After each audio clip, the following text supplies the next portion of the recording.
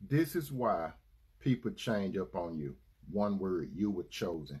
You were chosen by God, my brothers and sisters, before the foundation of the world or before you were placed in your mother womb. The people that are going to have a problem with you and pull away from you or try to destroy you are the people that you grew up with, that you're familiar with, they remember your sinful past and they want you to remember your sinful past. And people that you are coming in contact with, they're going to notice something real unique about you. They don't understand, so they're going to try to destroy you. Just like Cain destroyed his brother Abram. You were chosen. Listen to this from God's word, my brothers and sisters.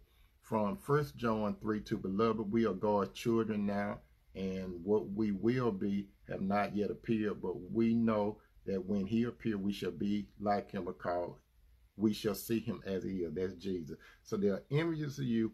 They're jealous of you because of your gift. You heard the call of God. So they don't like you.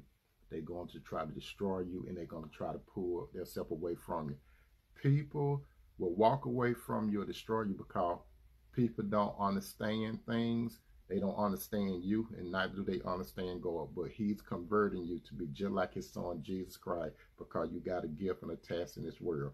Remember this, believe this, say la vie, and amen.